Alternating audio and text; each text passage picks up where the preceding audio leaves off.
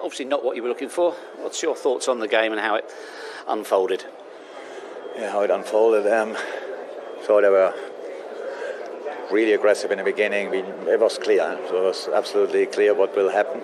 Um, but then um, reality shows um, when you are ready or if you are really ready. And uh, I think in the beginning they were more aggressive than us in these kind of challenges. They got then, um, the, I think they hit the, the post in a so we were like passing around stuff like this. It was a hectic game, obviously, and then they had the, the, the first chance. Then they scored a goal, um, and then we took over, if you want. Then we were we played the game we wanted to play, more or less. Um, unlucky with situations, especially around set pieces. I think I don't know how the one ball didn't go in. In a game like this against an opponent like United, that would be obviously very helpful if you could score in this moment, going one-one in half time or whatever.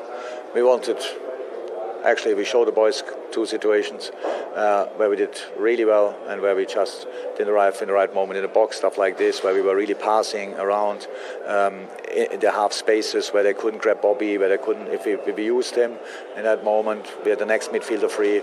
So football stuff.